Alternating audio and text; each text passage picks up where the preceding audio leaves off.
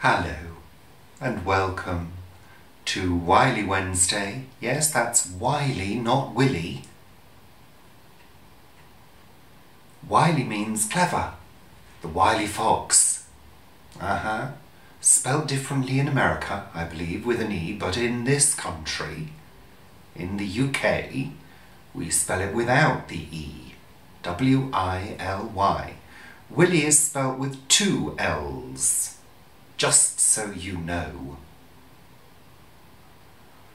Anyway, this week we're on the subject of recharging again. In fact, this video would have been published sooner had I not been recharging my own batteries, albeit accidentally.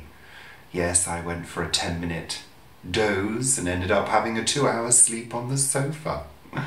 I'm on annual leave. I can do that. Thank you very much.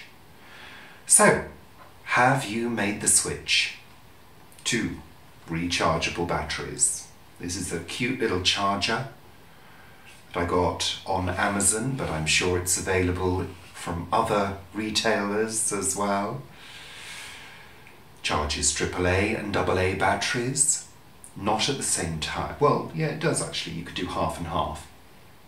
But it's got one, two, three, four, five, six, seven, eight slots.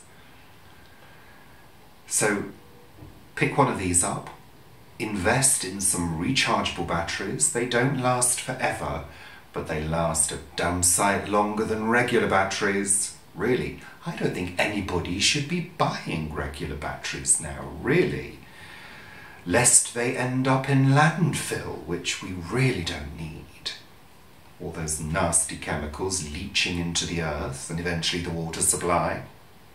Mm, we don't want that, do we? So make the switch. Make the switch.